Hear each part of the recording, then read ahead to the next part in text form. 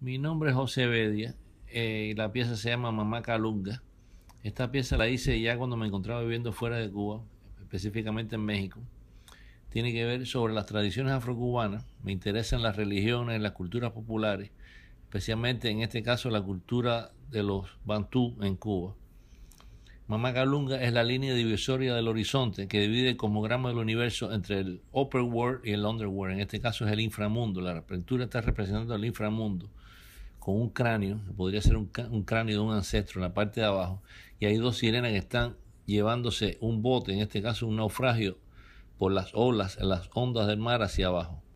La, la pintura está modelada en una forma semicircular. En este tiempo a mí me interesaba modelar mis pinturas no en un formato convencional occidental cuadrangular, sino que las pinturas tuvieran una forma que asumiera la, idea esencial de cuadro, en este caso las ondas del mar y la línea del horizonte en la distancia.